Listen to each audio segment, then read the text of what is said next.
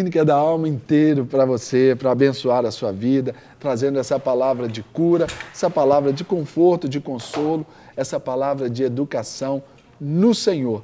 E Deus ele, Deus ele escolhe os seus instrumentos e ele nos presenteou com o pastor Rogério Goulart. Pensei que você ia dizer qual o instrumento que é. Não era violão? Não, olha aí, cuidado. Ah, cuida... Tudo bom, Serginho? Tudo bem, Rogério, e você?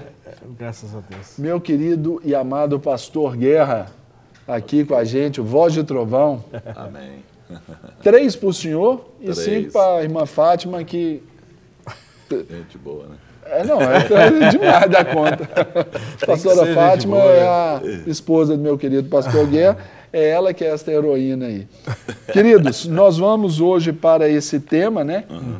Orando por aqueles que nos criticam. É, exatamente. Então, qual é o texto base para hoje, meu querido pastor Guerra? Nós vamos lá, Números 12, versículo 13, tá? Que fala assim: é, Moisés clamou ao Senhor, dizendo: Ó oh Deus, rogo-te que a cures.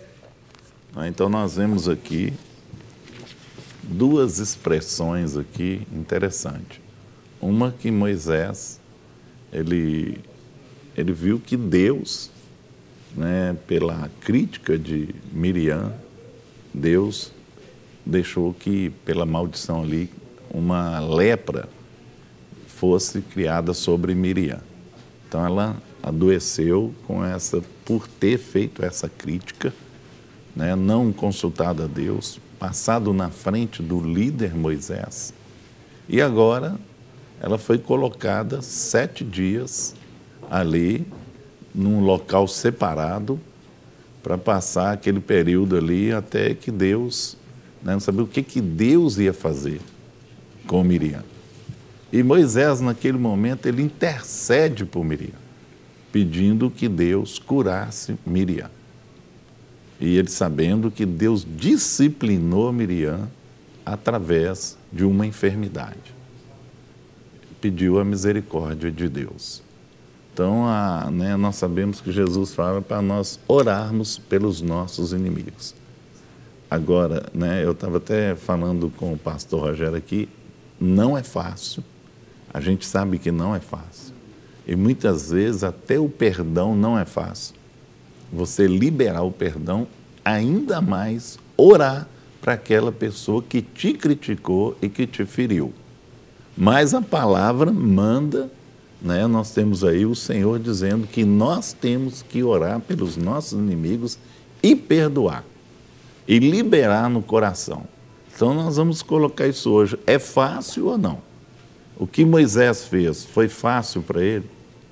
E sabendo que Deus, né, foi Deus que colocou e que deu a disciplina sobre Miriam. Então, muitas vezes nós sabemos, não é fácil, mas temos que fazer. É fácil liberar perdão? Não. É fácil orar pelos inimigos? Não. É fácil orar pelo aquele que te critica? Né? Você tem uma pessoa dentro de casa que te critica, fala mal de você, e mesmo assim você orar pelaquela pessoa, abençoar aquela pessoa. Né? Então, vamos ver aí como é que fica isso aí. Né, Serginho? Pastor Guerra, a caminhada cristã, ela nos ensina algumas coisas preciosas, né? Sim.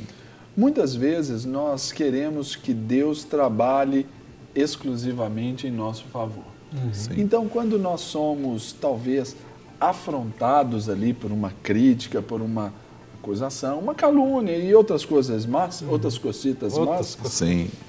nós sempre pendemos assim, Deus que o Senhor faça justiça. Uhum. E numa questão assim, na verdade, a gente tem que pedir é a misericórdia, misericórdia. que foi o texto aí lido, Moisés Sim. pedindo misericórdia sobre a vida da irmã, uhum. né? Porque a justiça de Deus, ela se estabelece no mesmo nível, porque não tem nem pecadinho nem pecadão, tudo é Sim. é pecado. Uhum. E o meu pecado, ele não é maior do que o do meu irmão, ele só é diferente. Sim. Então, e nós queremos a implacável é. ira de Deus. Pesa a mão, é. Senhor. Pesa a mão. Deus vai pesar a mão. Esse pesar a mão é terrível. Né? julgamentos, né? né? Então nós aprendemos aqui hoje esse sentido contrário, irmos nesta contramão. Exato. Não é isso, Rogério? Interessante é essa questão, Sérgio, porque você percebe que a, gente tem falado essa semana toda sobre essa questão da, da, da crítica, crítica, né? Ah. E como que é, Miriam ela foi assim muito enfática, né? E até nós comentamos aqui durante os, os dias que na realidade, se nós é, analisarmos bem a situação, Miriam estava questionando a decisão de Deus, de Deus apenas usar Moisés e falar num nível de intimidade com Moisés e, e não com ela e com o seu irmão Arão. Né? Então, assim, é, na verdade, ela está questionando isso. Então, na verdade, não foi uma crítica a Moisés, mas sim, no fundo, era a Deus. Né? E Moisés, ele, ele aquieta, não fala nada, ele fica quieto. Ou seja, o Senhor chama os três para uma, né, uma conversa ali, vamos acertar essas pontas agora, né? E o Senhor foi muito enfático, incisivo, dizendo, olha, com meu servo é face a face. Né? Com vocês é através de profeta, ou sonho, alguma coisa nesse sentido. Né? E aí veio, então, sobre ela essa consequência. E a gente vê que nós trabalhamos aqui a questão da humildade do líder, ou seja, a, a honestidade da parte dele, e ele transferiu ou seja, essa crítica de Miriam é para o Senhor. Né? O Senhor que vai analisar, o Senhor que vai pesar, o Senhor que vai julgar. Né? E muitas vezes nós queremos interferir nesse sentido. Né? Senhor, eu só tenho que julgar, mas dessa forma. Pesa, né? faz isso, faz aquilo outro. E Moisés não fez isso.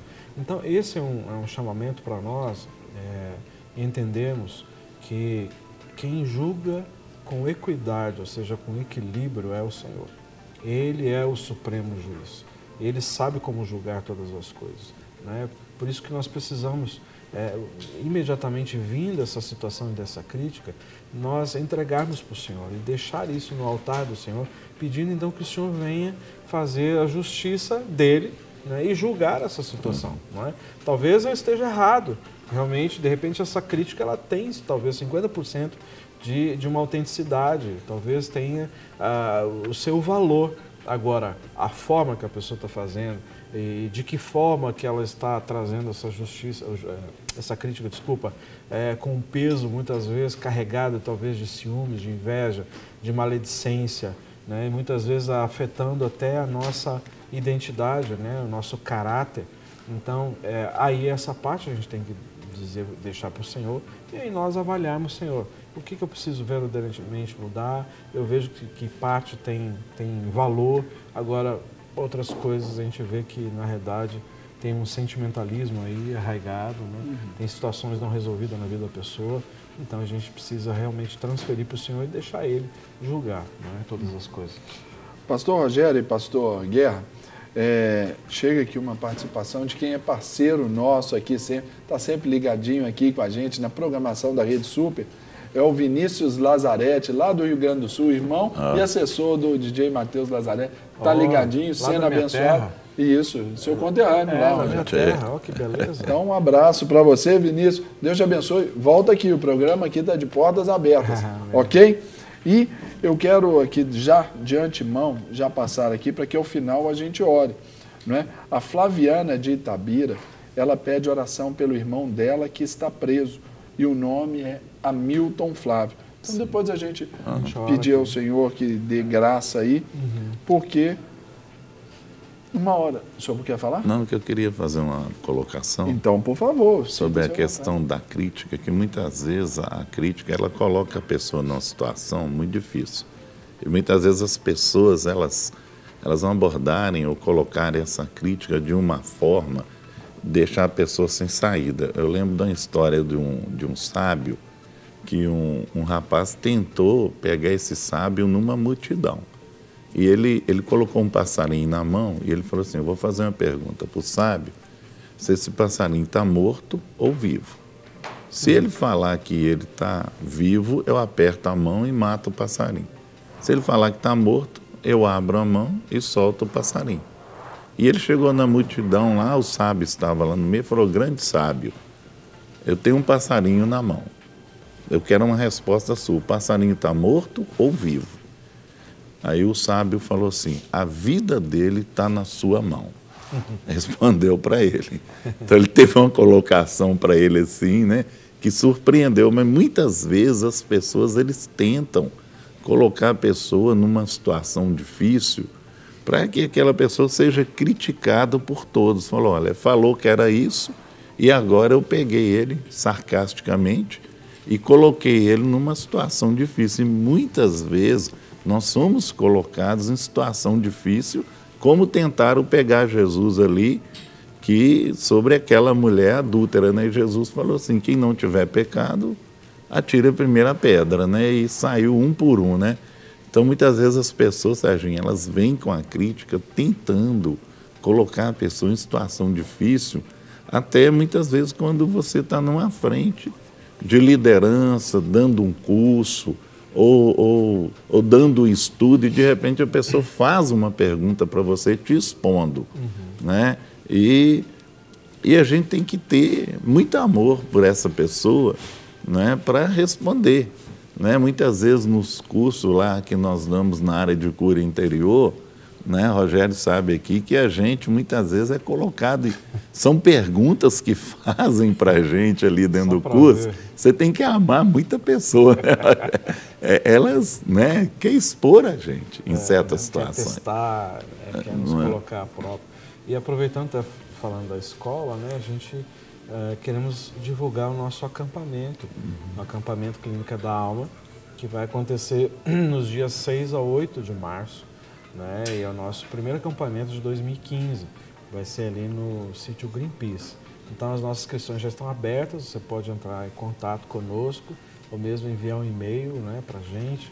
A gente já envia todas as informações, preços, link para você pagar pela internet e para facilitar aí a sua inscrição. E essa, essa acampamento ele tem um diferencial. Nós vamos fazer juntamente o primeiro acampamento da Clínica Kids, ou seja, a clínica para crianças de 6 a 12 anos de idade. Você que tem filhos, você quer levar para que eles sejam ministrados, então as inscrições já estão abertas e você pode fazer a sua inscrição, entrar em contato para que já possa ter toda uma programação separada para eles. Inclusive o, o, nosso querido tio vai estar junto lá nos ajudando nesse processo, né, ministrando essa área de, de rejeição, todas essas áreas que as crianças têm enfrentado e concomitantemente é, nós vamos estar. Gostou dessa? Concomitantemente, nós uhum. vamos estar num outro salão onde os adultos vão estar sendo ministrados, os pais né, ou alguém responsável pelas crianças. Então, entre em contato conosco não é, e você vai saber todas as informações. Tem sido uma benção, Deus tem, pela sua graça, misericórdia, tem usado o ministério nessa área de restauração e cura para as crianças e para os adultos também. Rogério, dentro do, do ministério também existem os testemunhos daquilo que Deus né, pode, faz, ainda vai fazer, vai fazer, na vida das pessoas. É e nós temos aí um vídeo né, muito interessante, uma matéria bacana sobre Clínica da Alma, que nós queremos que você acompanhe com a gente. Isso Talvez ainda não Como esteja. eu já tinha sido tratada, eu vi a necessidade dos meus filhos também de serem tratados. Porque foi um período que eu estava muito doente, isso refletiu muito na vida deles. Então, como eu fui curada, eu vi algumas questões deles também que precisavam ser ministradas. Bem melhor, até mesmo pelo depoimento deles tão natural Olha, a minha mãe está diferente, eu não tenho mais medo, eu não tenho mais vergonha. Né? Então foram questões que eles mesmos é, descobriram ali, interagindo ali nos grupinhos infantis, conversando com a psicopedagoga, e questões que até eu mesmo, como mãe, não sabia, né? que eles não tinham revelado para mim até então. Então, nesse trabalho é que eles tiveram essa consciência do que eles também precisavam né? na questão da vergonha, na questão de se relacionar, na questão de falar, na questão de estar entre os outros e não se sentir inferior.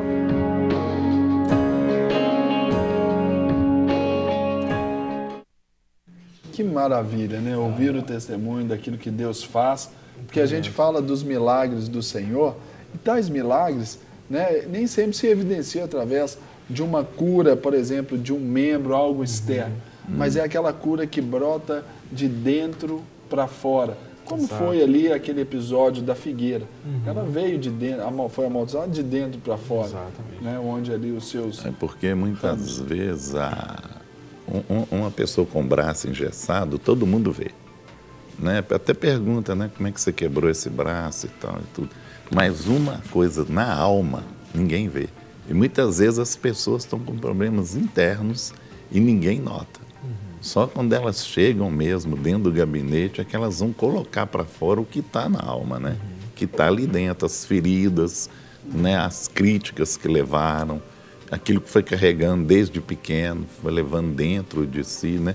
E, e é isso é que tratado na criança, né? Quando ela chegar adulta, entendeu? Ela já não vai ter esses problemas, uhum. porque eles vão ser tratados já de criança, que são, hoje a gente pega pessoas de 30, 40, 50, até 80, 80 anos com problema interno, né? A gente fez, eu fiz uma administração na senhora em Teresópolis, setenta e tantos anos e ela tinha problema de paternidade.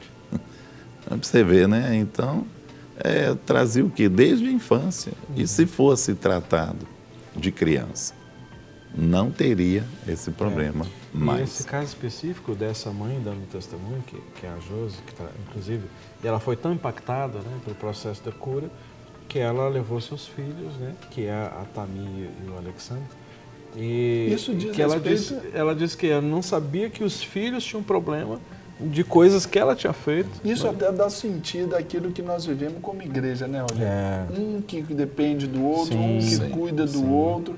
E é uma família que verdadeiramente se importou, se importou. com essa causa. Sim. Né, e hoje, e, e, hoje ela, assim, a, a Josi foi tão impactada que hoje ela trabalha lá conosco no ministério, é apaixonada pelo ministério. Aquilo que de graça recebeu, é, de graça. verdade. Hoje ela ajuda e ela é apaixonada pelas crianças e, e ela, assim, é, monta os grupos e tudo. Então, é, eu digo assim, Deus tem dado à nossa igreja, e, e, na pessoa do nosso pastor Márcio, ou seja, essa visão de que a igreja ela seja é, é tem esses muitos braços para poder acolher, para poder assistir, para poder estender a mão para ajudar uh, os membros da igreja e, e um diferencial da igreja é que ela não é fechada em si mesma, não é uma igreja é, simplesmente visando ah, os membros simplesmente. Ela está aberta a qualquer pessoa que queira ser assistida, queira ser ajudada e procurar os ministérios da igreja e todas as áreas, né? Hoje, segundo o pastor Márcio, são 200 ministérios que atuando nas mais variadas áreas, né, para alcançar aquele né, que está desgarrado, animar aquele que está desanimado, aquele que está prostrado, enfim, é, qualquer área de necessidade, graças a Deus a nossa igreja tem, a gente tem visto os resultados, né, Sérgio?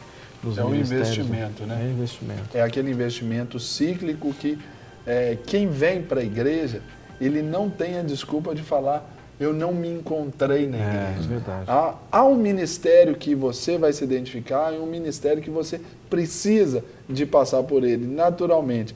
E por falar em criança também, Rogério, nós temos aí também um vídeo para poder mostrar mais um testemunho sobre aquilo que Deus já tem feito na vida dos nossos pequeninos, destes que ele suscitará o perfeito louvor. Uhum. E eu te convido a assistir agora conosco a minha timidez começou a mudar, o meu medo mesmo, medo de sair na rua começou a mudar. Algumas coisas eu não falava para minha mãe, aí eu só falava para ela. Como trabalho, escola, eu, eu só deixava a opinião dos outros, porque eu não conseguia falar com ninguém o que eu sentia. Era mais medo de eu falar e errar a resposta para ficar rindo da minha cara. Eu tinha mais medo disso. Até que hoje não tenho mais medo disso, porque todo mundo erra, aí mãe me, a Áurea me explicou, minha mãe me explicou e foi, ficou bem. Sou muito feliz depois disso. Que maravilha. É, né? Então, assim. De uma é... dificuldade ali até de poder falar, uhum. naturalmente se estende para outras áreas. É, e ela você... ali já dando um testemunho tão bonito aqui. Deus, tem dado, Deus tem dado muita graça para a Áurea, que, que é a nossa psicopedagoga e é responsável por esse ministério.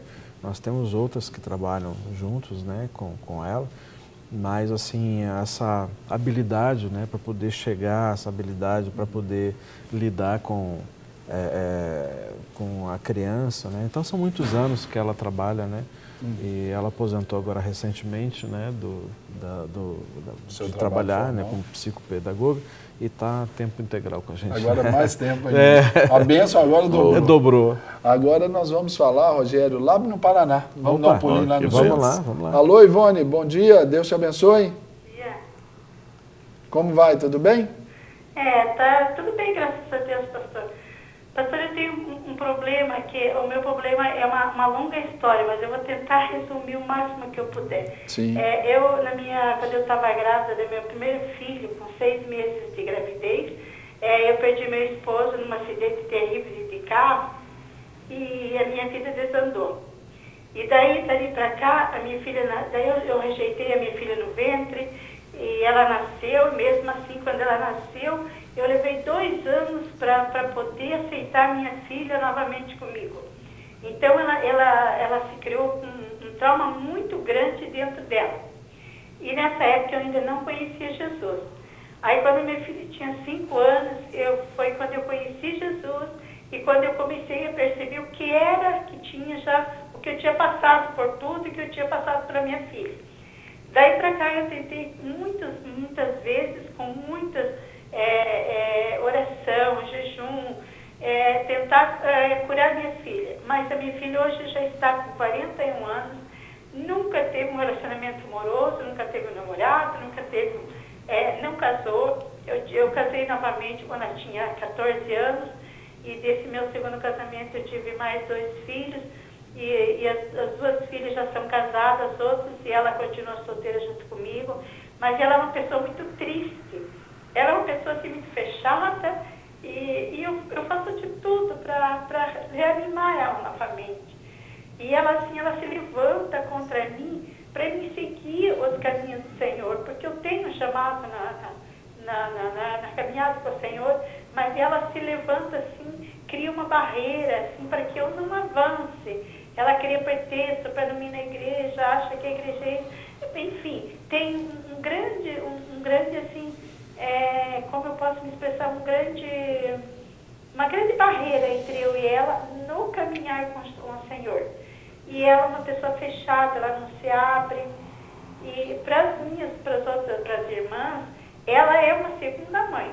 Ela tem, assim, um amor pelas irmãs, como se ela fosse a mãe. Uhum. Porque ela, desde que as, as outras nasceram, ela está presente, sempre assim, presente, tudo. Mas ela tem assim, paixão, adoração pelas irmãs. Faz tudo, ela tira dela para dar para as irmãs. E, mas não, não, eu acho que isso aí é para tentar suprir uma coisa que falta dentro dela, mas Com eu não certeza. sei o que é. Uhum. E eu não consigo estar com essa situação. Assim, eu estou assim, tentando, mas até hoje eu não encontrei uma solução. E aqui não, não tem assim, essas cores interiores. Assim, eu acho que ela precisa disso, mas aqui entre nós ainda não, não tem. Não, perfeito. Eu queria um, uma resposta aqui, no que, que vocês poderiam me ajudar. Claro, nós vamos passar. Primeiramente, então, eu agradeço, viu, Ivone, a sua participação aqui conosco, o seu carinho, né? E o... Eu quase não estou escutando, e a... está muito ruim a ligação. A confiança que você traz ao nosso programa. Então eu vou te convidar a desligar o telefone e acompanhar no televisor, porque aí você vai ter já assim, receber completamente aquilo que Deus vai falar com você agora. Amém? Pastores, caso da Ivone. É, é o típico clássico é, da, da caso clássico da rejeição, né? é. né? Olha só, Ivone, é, na realidade a, a, sua filha ela recebeu todo esse impacto, né, intrauterinamente, né, enquanto que ela estava aí no ventre, a sua decepção, ou seja, a, o choque do trauma, né, da perda do seu, seu esposo, né, e veio, a senhora mesmo falou que acabou rejeitando, né, porque acabou essa gravidez assim chegando num momento que a senhora não esperava, no sentido né, de toda a situação, de todo o trauma. Então, o que, que precisa acontecer? Realmente, essa barreira existe, ela é real, porque a criança ela recebeu toda essa ministração no ventre que você não queria, não é? Então, na realidade, ela se sente verdadeiramente é, rejeitada por você, não conheceu o pai, né, que já tinha morrido. Então, é, realmente, ela é, se fica introvertida, ela, ela, não quer abrir o, o coração, seus sentimentos, né? E essa se, se dar, né, pelas irmãs, então na realidade é uma forma de tentar compensar verdadeiramente uh, o que ela tem de menos dentro dela. Então, é, o que, que nós queremos colocar realmente Eu não conheço ninguém assim que trabalhe nessa área aí em Ponta Grossa, né, é, no Paraná. A nossa sugestão, se houver condições, é que é, ela pudesse vir para Belo Horizonte e a gente aqui poder é, tratar dela, ficar uma semana conosco aqui, a gente poder fazer esse trabalho com ela.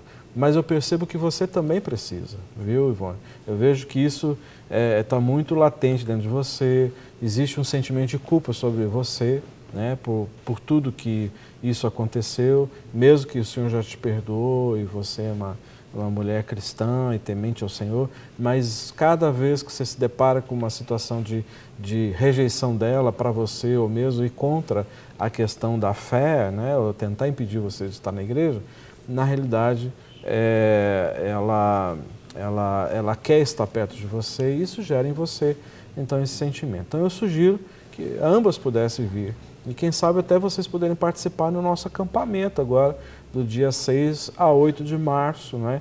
que aí seria um final de semana, né? onde ali vocês já vão receber a administração, vocês duas. Né? Então, entre em contato conosco lá no Ministério, ou você encaminha um e-mail, que a gente vai passar todas as informações, tá bom? Deus abençoe. Amém. Que bênção aí o programa. É, né? Hoje podendo estender aí é né? essa mão aí para uma mãe aflita. É mesmo. E por falar em mãe aflita, naturalmente a mãe aqui, quem pede oração pelo Hamilton é a irmã né? dele uhum. que está preso. Então, queria pedir, pastor Guerra, aquela oração abençoando Sim. essa família agora. Para a gente poder estar tá encerrando Amém. aí o nosso Clínica da Alma. Amém. Como é que ela chama? É, a Flaviana pede oração pelo Hamilton Flá. Amém. Pai, em nome de Jesus Cristo, nós louvamos ao Senhor neste momento. Apresentamos a vida da Flaviana, que intercede pelo seu irmão, Pai. Nós pedimos ao Senhor que tome essa causa nas mãos, em Pai, e faça aquilo que o Senhor acha que deve fazer, Pai. Nós pedimos em nome de Jesus. Você vai em direção, Senhor, ao Hamilton, Pai, toca no coração dele. Amém. Senhor, nós não sabemos o que aconteceu, por que, que ele está preso, Senhor, mas o Senhor sabe. Por isso, Pai, alcance esse rapaz através de alguém ali, algum evangélico que estiver ali naquela cadeia, Pai, que alcance ele através de Jesus, Pai e que ele venha abrir o coração, Senhor. Que ele venha abrir o coração para o Senhor, Pai. Nós pedimos também que o Senhor toque no coração da Flaviana, Senhor. Venha Senhor abençoá-la, Pai, no nome de Jesus.